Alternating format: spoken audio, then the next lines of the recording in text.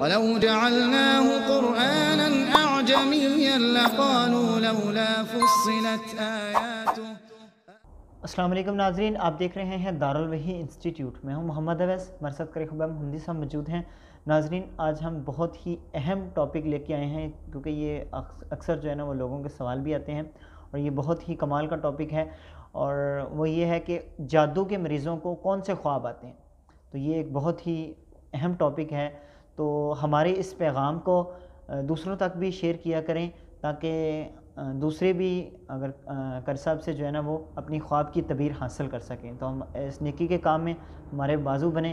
अल्लाह ताला आपको भी जजाय खैर आ फरमाए। तो आज हम कर साहब से पूछेंगे। जी, कर साहब वालेकुम अस्सलाम वरहमतुल्लाहि वबरकातुहू। अल्हम्दुलिल्लाह वस्सलातु वस्सलामु अला रसूलिल्लाह। अम्मा बाद फ़ाउज़ बिल्लाहि मिनश शैतानिर रजीम। मिन हमज़िही व नफ़ख़िही व नफ़सिही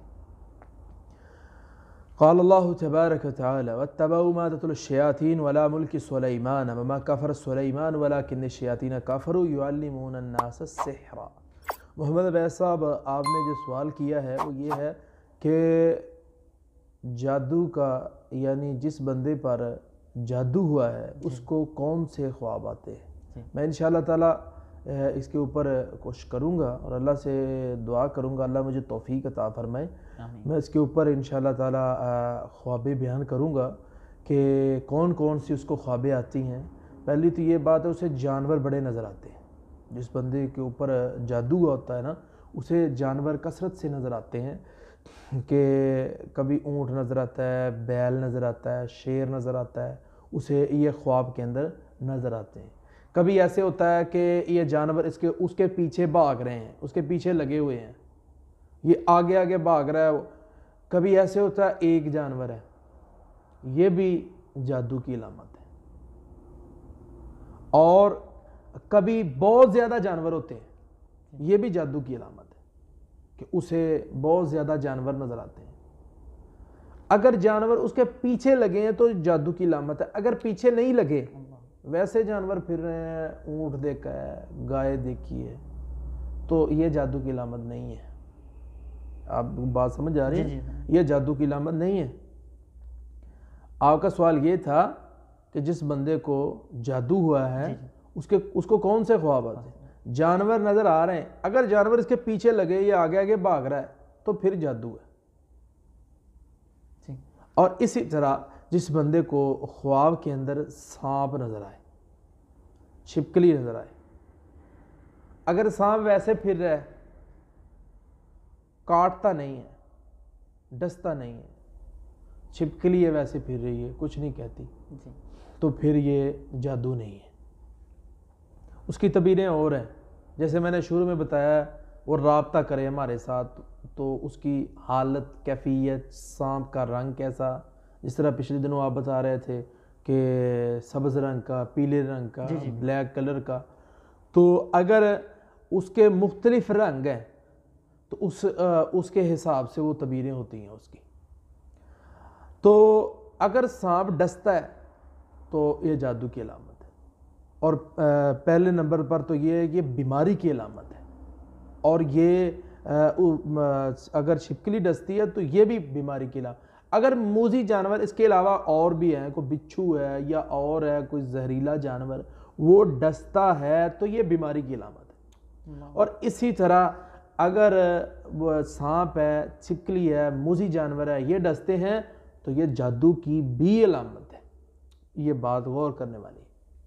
लोग लोग ख्वाब देखते हैं सुबह सुबह उठ के "हम्म, मुझे ये ख्वाब आया है। ख्वाब के अंदर क्या नज़र आया? मुझे छिपकली नज़र आया। मुझे सांप नज़र आया और तेरा कोई दुश्मन है जी। नहीं भाइयों ये बतानी भी नहीं चाहिए। ये बात वैसा समझने वाली है ये बतानी नहीं चाहिए। जी। और अगर किसी ने बताई है तो ये वैसे कि वैसे अगर उसने तबीर दे दी तो हो जाएगी। हदीस पाक में आता है किसी आलम दीन को बताओ या किसी ख़ास दोस्त को बचा बताओ जो इसकी ताबीर अच्छी करे। वो आपका रफ़ीक हो प्यारा हो।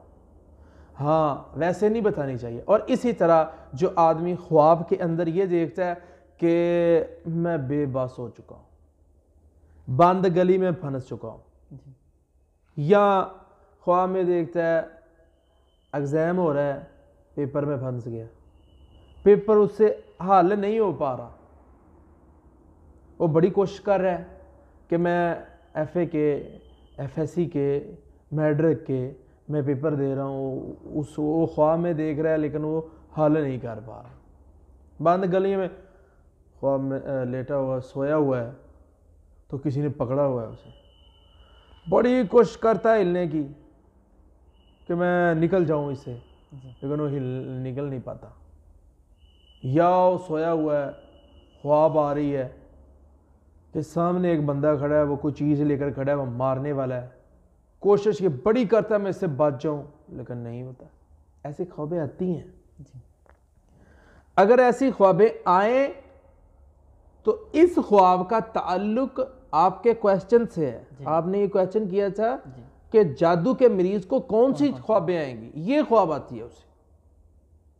पिछले दिनों आपने एक सवाल किया था नज़र बद जिसको लगी हो उसको ख्वाब कैसी आती है?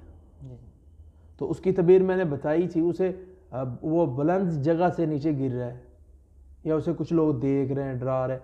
ऐसी ऐसे ख्वाबें आती हैं।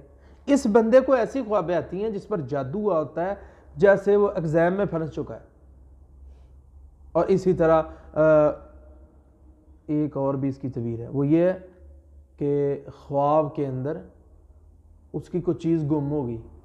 पेन था, वो गुम हो गया। जूता था, गुम हो गया। या इसी तरह उसकी और कोई चीज़ें हैं, ख़ास चीज़ें हैं, वो गुम हो गई हैं, वो ढूंढता फिरता है। ऐसे ख्वाब उस बंदे को आएँगे। किस बंदे को? जिस बंदे ने ख्वाब के अंदर ये देखा कि मेरा पेन गायब हो गया या कोई और चीज़ गायब हो गई, ये जादू वाला ख्वाब है। इसके ऊपर जादू है, फौरी तौर पर अब ये तो आपने समाप्त कर लिया कि जादू है। और इसका इलाज क्या है? अगर आप इलाज भी सुनना चाहें तो मैं इलाज भी बता देता हूँ कि उसका इलाज क्या है। जहाँ तक भी मेरा ये पैगाम जाए वो घरों के अंदर खुद ब खुद इलाज कर सकते हैं। जी। सूरह सात मरतबा। आयतल कुर्सी की आयतल कुर्सी सात मरतबा। और इसी तरह सुर बकरा की आखिरी आयतें। सात मरतबा और इसी तरह सूरत यूनस की पचासी और छियासी नंबर आयत ये भी सात मरतबा फलक ना सात मरतबा, इसको पानी पर या तेल पर दम करके ये मालिश करे, नहाए, पानी पिए इन ताला रब्बुल उसे शिफा अता फरमा देंगे। आखिर पे मैं ये याद दहानी करवा देना चाहता हूँ कि अगर ऐसे ख्वाब किसी नॉर्मल शख्स को आते हैं ना तो उसे चाहिए, क्या चाहिए? कि फौरी तौर पर इसका इलाज ढूंढे। इलाज मैंने नीचे दे दिया है। मज़ीद आप भी इस पर रोशनी डाल दें कि जो शेख मोहतरम ने ये चीज़ें बताई हैं उसे ज़रूर करें। अल्लाह रब्बुल आलमीन आपको शिफा अता फरमाएँगे। बहुत बहुत शुक्रिया। जी इंशाल्लाह हम कर साहब का नंबर नीचे मेंशन करेंगे तो मज़ीद डिटेल के साथ किसी भाई को ख्वाब बहन को ख्वाब आए तो वो डिटेल के साथ कर साहब से वजाहत ले सकता है। तो अगले प्रोग्राम में फिर हाज़िर होंगे तब तक के लिए हमें इजाज़त दीजिए अल्लाह हाफिज़